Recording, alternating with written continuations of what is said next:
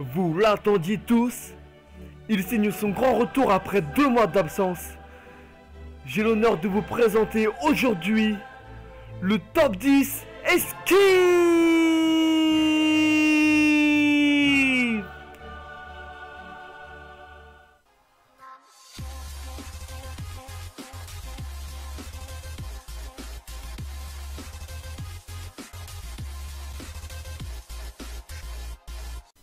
Hey, salut les gamers, c'est la Zombie Factory et oui, vous l'aurez compris, c'est le grand retour du top 10 esquive du mois de novembre qu'on est très heureux de vous présenter. Donc on a eu pas mal de, jolis clips ce mois-ci. Oui, vraiment beaucoup de participants, beaucoup de, très jolis clips. Et ça a été très compliqué pour nous de faire un choix, mais voilà, on a essayé de faire le choix le plus objectif possible. Et on, est heureux de vous présenter aujourd'hui les clips les 10 clips qui nous semblent les plus jolis pour ce mois de novembre. Et on commence en beauté avec, à la dixième position, une jolie esquive de Gun Aguero. Donc il est avec son collègue Requin51 qu'on a déjà vu dans le top 10 euh, sur la map Origine. Donc ils sont tous les deux en first room, ils sont en train de paquer les zombies, ils vont se bloquer dans un coin et un petit 180 va lui permettre de se dégager. Donc tous les zombies sont retombés sur son, collègue. Bien joué à lui. Et à la 9ème position, on se retrouve avec Zombie du 59-760. Donc ils sont en défi, je pense, à 3 sur ville. Ces deux coéquipiers sont tombés, il les réanime tous les deux. Ensuite, il va accélérer un petit peu le clip, on va le voir tirer au Mustang. Voilà, c'est un peu dangereux, il n'y a personne qui a le masto, il y a deux de ses coéquipiers qui vont retomber. Voilà, ces deux coéquipiers retombent. Et il se retrouve dans la banque. Là, c'est vraiment compliqué, il est bloqué, le spawn, voilà, ça spawn de partout. Et un petit 180 long du mur, un petit, un petit jump là, bien joué à lui pour se dégager, c'est très très bien joué, un bien beau réflexe. Et il s'en sort tranquillement. Bien joué à toi. À la huitième position, une esquive de Yo42 Hakim, encore sur la map Origine, ils sont à deux également. Et donc il va faire un mauvais choix, euh, Hakim, il va partir dans les souterrains de Masto. Euh, il a le Panzer derrière lui, donc en général dans ce genre de situation, c'est la mort qui nous attend au tournant. Euh, moi j'ai vu pas mal de parties se terminer comme ça, en tout cas pour ma part. Donc là il se fait attraper par le Panzer, en plus il arrive à se dégager à la dernière minute. Il a Masto, heureusement pour lui, et là il va commencer une série de petits 180 de petites esquives dans les souterrains. Un beau réflexe, un beau recul pour éviter le zombie qui allait le bloquer in extremis, et il va pouvoir s'en sortir avec tous les zombies et le Panzer derrière lui. Très bien joué. Et à la 7ème position, on retrouve Vic 01700. Donc ils étaient en écran scindé sur ferme. On voit qu'ils ont quick revive et double coup, mais pas de mastodonte. Il se retrouve bloqué au niveau du portail son coéquipier est tombé. Donc on voit que là, il va faire une volte-face face aux zombies. Bien joué à lui, il se dégage. Il y a un petit joystick, coup de joystick sur la gauche, pardon. Bien joué à lui pour se dégager. Il nous a mis un deuxième ralenti, sachant que le premier, on était déjà un, mais bon, c'est pas grave, il s'est planté, mais c'est une bien belle esquive. Donc là, on voit qu'il tourne autour des deux premiers zombies. Hop, il fait volte-face, il y a tous les zombies qui arrivent sur lui, et un petit coup de joystick sur la gauche pour se dégager. Il prend une seule claque. Bien joué de sa part. À la sixième position, une esquive du grand Winman, le retour de Winman 76 qu'on a vu pas mal de fois dans nos top 10. Donc il est sur la map d'Iris avec Anto71 et je sais qu'ils sont dans le défi Only Couteau sur les toits de d'Iris. Donc voilà le, voilà, parti à esquiver tout un tas de zombies pour essayer de réanimer son collègue, il est en qui. Et donc là il va partir, partir vers les ascenseurs et première esquive du, du tas de zombies, il va pouvoir commencer à faire des petits 180 au pied des ascenseurs en espérant aller réanimer son collègue. Donc là, l'idée, c'est de paquer tous les zombies et il y arrive à la perfection. Très bien joué à lui. Et donc là, petit coup de joystick pour éviter le tas de zombies qui a failli le bloquer contre le mur. Il va essayer d'aller réanimer son collègue dans le coin et ça va passer avec une petite réanimation 180. Ça passe crème, je dirais même. Et la prochaine esquive, donc en strat jump le long du mur. Il s'en sort à nouveau, son collègue retombe, mais il va avoir un très beau réflexe. Il va, euh, il va dégainer une grenade pour pouvoir mettre tout le tas de zombies en rampant et aller réanimer tranquillement son collègue. Donc voilà, on le voit dégainer sa grenade, mettre les zombies en rampant.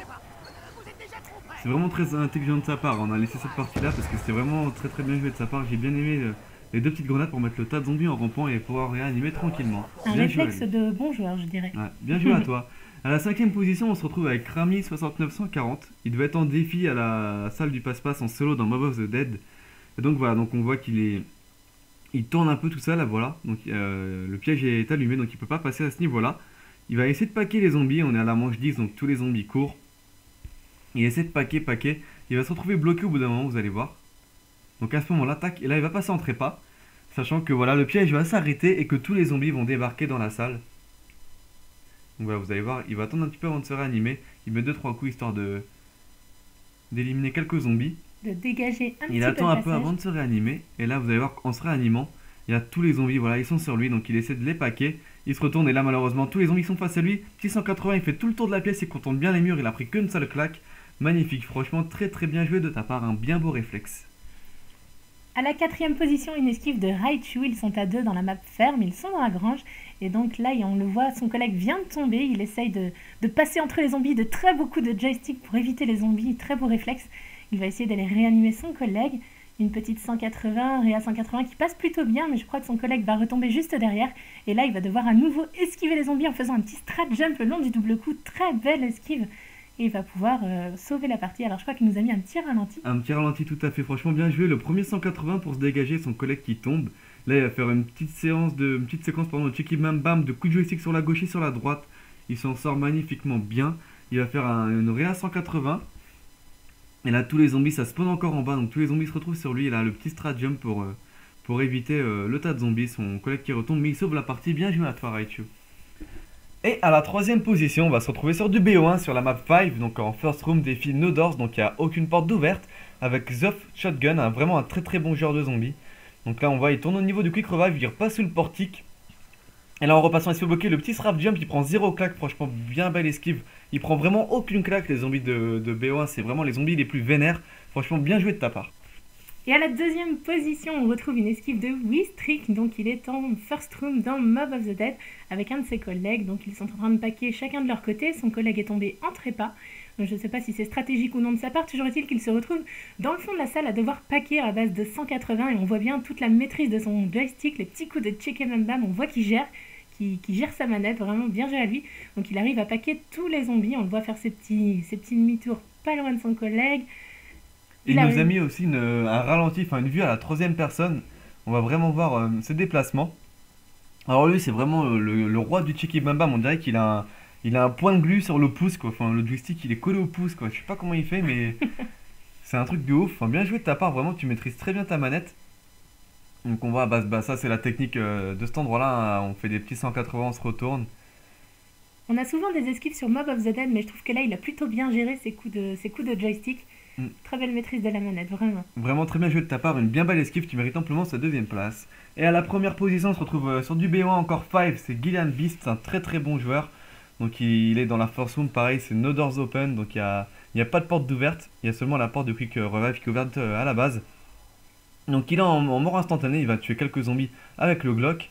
Coup de cut là pour se dégager de celui-ci. Et là bah il va, il va pas jouer le fou, il va commencer à paquer les premiers zombies.